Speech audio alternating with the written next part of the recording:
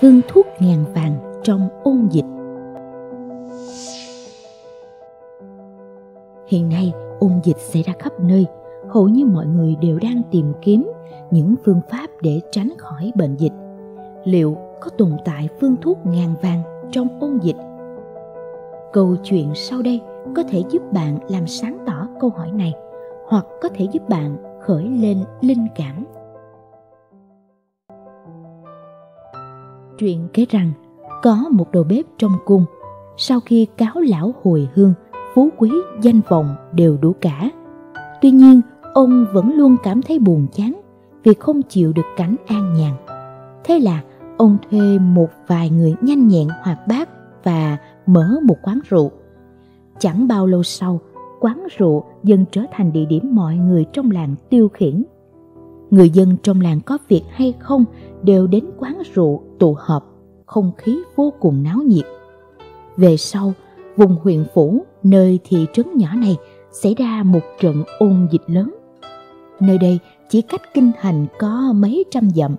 Triều đình đã đặt phái ngự y đến để chữa trị.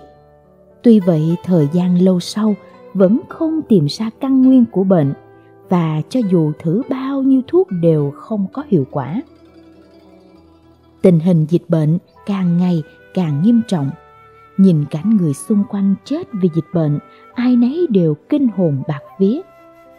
Dù là người giàu có cũng không mua được thuốc bởi căn bản không biết phương thuốc nào mới có thể trị được bệnh dịch. Một người hôm trước còn đang khỏe mạnh, nhưng hôm sau đã lăn đùng ra chết. Con phố phồn hoa náo nhiệt trước kia giờ trở nên tiêu điều ám đạm những người lang bạc không nhà, thân mang bệnh nặng, đi chẳng được bao xa thì tắt thở tuyệt mạng. Thi thể người chết vì bệnh dịch nằm ngổn ngang la liệt khắp các con phố. Trong cơn kinh hoàng, mọi người đều than thở, đời người sao mà vô thường như mộng ảo. Lần này, các quan viên lớn nhỏ trong triều đều bất lực. Những người chức cao quan lớn đều bàng hoàng lo sợ. Đối với họ, vinh hoa, phú quý, công danh lợi lộc lúc này không đáng một xu. Lúc này, giữ được mạng sống mới là quan trọng nhất. Trông thấy tình cảnh này, người đầu bếp già đã vội vàng đóng cửa quán rượu. Ông đoạn tuyệt mọi liên hệ với thế giới bên ngoài, cả ngày trốn ở trong nhà. Nhưng cho dù căn nhà đã được đóng chốt kỹ lưỡng thế nào bệnh dịch vẫn vượt qua tường đồng vách sắt mà tìm đến Ông bắt đầu cảm thấy uể oải không chút sức lực, thỉnh thoảng co giật, chóng mặt nôn mửa và đi ra máu. Cảm thấy ngày tháng của mình không còn dài, ông bước lên lầu cao, nhìn ngắm cảnh vật trong ngoài thành. Nhìn một hồi lâu, đột nhiên ông cảm thấy bi thương, xót xa. Ông thở dài trong hàng nước mắt. Hỡi ôi, công danh nào có chi? Cả đời ta làm đầu bếp trong cung, danh khắp thiên hạ cũng khó tránh khỏi dịch bệnh. Trong họa phúc khôn lường, ai có thể giữ được đây? Sau đó ông lại nghĩ, dù sao ta cũng là người sắp chết, vàng bạc lương thực, quần áo đầy kho để làm gì? Chi bằng bố thí cho những gia đình nghèo khó, bần hàng kia, để bọn họ được bữa ăn no mặc kính, cũng để không uổng một kiếp người, còn mặt mũi đi gặp tổ tông.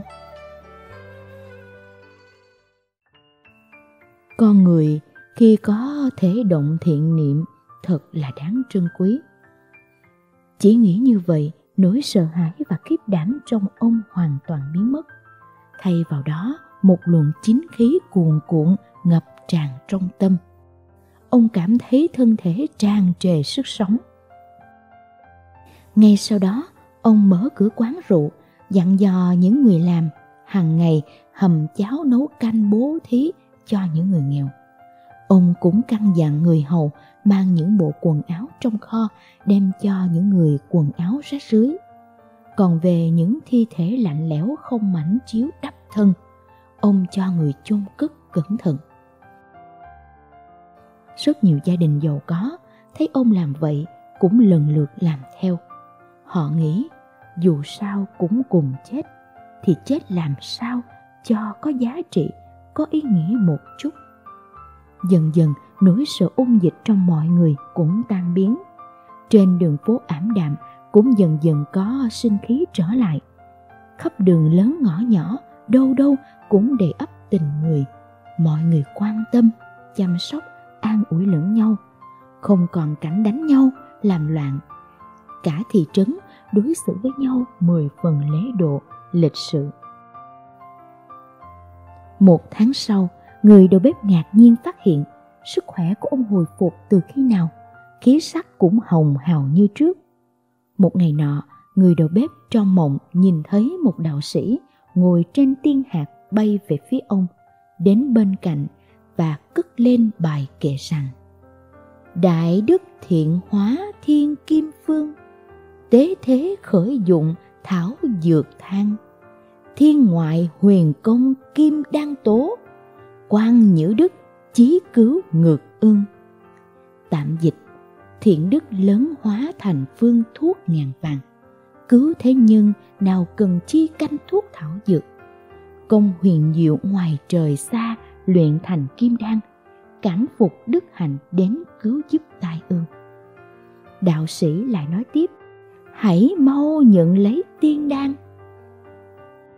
Người đầu bếp vừa giang hai tay đỡ, liền giật mình bừng tỉnh, nhìn thấy hai tay mình thực sự đang ôm một hộp tiên đan. Ông vô cùng mừng rỡ, quay về hướng người đạo sĩ bay đến mà bái lại.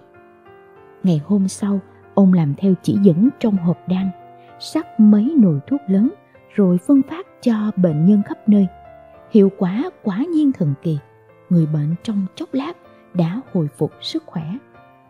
Ông đích thân đem phần đan dược còn lại tới hoàng cung. Nhờ đức hạnh của người đầu bếp, cuối cùng ôn dịch hoành hành mấy tháng trời cũng bị dập tắt.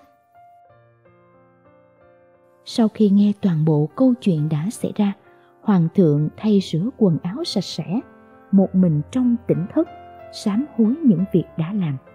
Sau đó thành kính viết lên mấy chữ lớn. Đức hạnh, phương thuốc ngàn vàng. Hy vọng câu chuyện trên có thể giúp ích bạn trong lúc chúng ta đang phải đối diện với dịch bệnh mang tính toàn cầu. Mong bạn giữ thiện lương trong tâm, sống theo chân thiện nhẫn để có được bình an trong tương lai.